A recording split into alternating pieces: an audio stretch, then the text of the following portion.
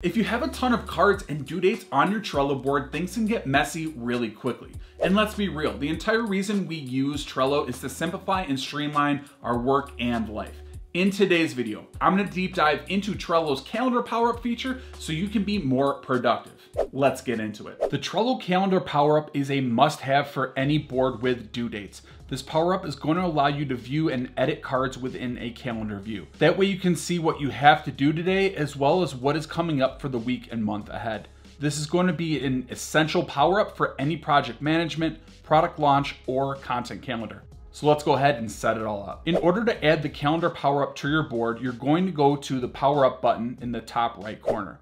From there, click on add power ups. Once the menu pops up, click on made by Trello, find the calendar power up and hit the add button. From there, exit out of the menu and go back to the main Trello board.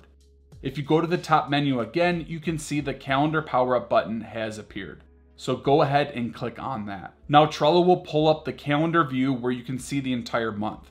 This view is great for seeing everything at a glance for the month. You can move cards around by dragging and dropping them, and the due date for the card will automatically update. One other thing you can do is add a new card within the calendar view. Click anywhere on the date that you want and then select add a card.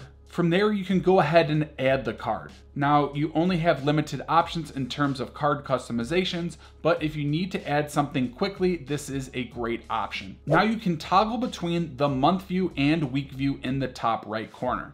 So go to the top right corner and click on the week button, and you can see the entire week at a glance. And the same format applies here. You can drag and drop cards from one day to the other day in order to optimize your week. You can edit the cards as well by just clicking on the card and again, the menu will pop up.